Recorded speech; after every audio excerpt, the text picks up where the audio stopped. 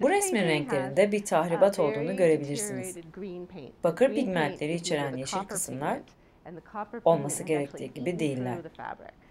Bakır pigmentleri ne yazık ki kumaşı tahrip etmiş.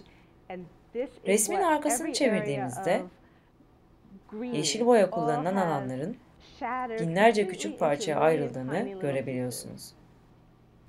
Dökülen parçaların resimle destekleyici kumaş arasında kalmış olması oldukça şaşırtıcı.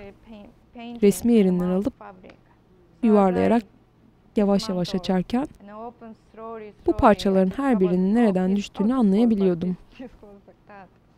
Bunlar topladığımız parçalar. Bu parçaların her birini yara bandına benzeyen bir Japon kumaşını kullanarak yerlerine sabitliyoruz. Resim hassas olduğu için o kadar az yapıştırıcı kullandık ki parçaların sağlamlığından pek emin değilim. Açıkçası çok uzun ömürlü olmayacak gibi duruyor. Bu gördüğünüz şey jelatin. Bu da yıkanmış ve kurutulmuş özel bir deniz yosunu. Yapıştırıcımızı bunu pişirerek hazırlıyoruz. İşi mümkün olduğunca kısa bir sürede bitirmeyi amaçlıyorum. Fakat bu zaman gerektiren ve hassas bir süreç.